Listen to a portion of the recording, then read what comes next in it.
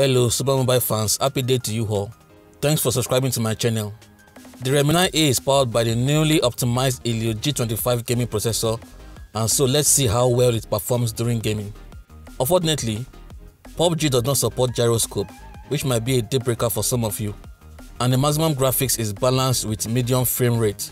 The low 2GB RAM size is not sufficient enough and so I ran into some expected lags but after clearing most background apps, it played just fine.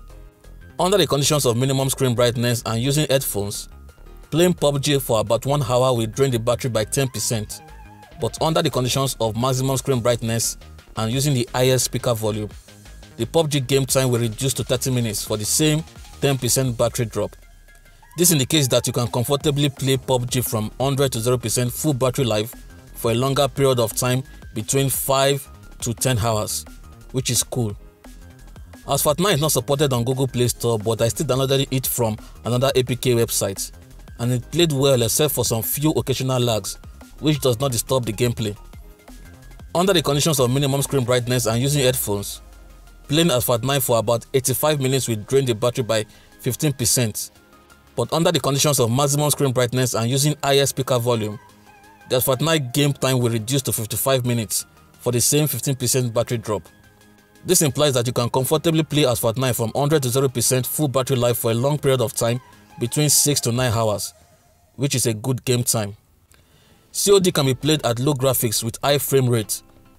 Just like the PUBG and Asphalt 9, the COD gameplay still has some few lags or frame drops but it's still manageable for the price point and you can always play at the lowest graphics settings to enjoy better performance. But the gameplay we are seeing right now is at low graphics with high frame rate. Also, under the conditions of minimum screen brightness and using headphones, playing COD for about 60 minutes will drain the battery by 12%. But under the conditions of maximum screen brightness and using the higher speaker volume, the COD game time will reduce to 40 minutes for the same 12% battery drop. This suggests that you can comfortably play COD from 100 to 0% full battery life for a long period of time between 5 to 8 hours, which is also cool. I hope Redmi releases a 3 or 4GB RAM version to help reduce the frame drops so that we can enjoy the full gaming potential of the Helio G25. During gameplay, there was no eating issues but it just felt a little bit warm to the touch. You can go check out my full review video to find out more details about the Redmi 9A link in the description below.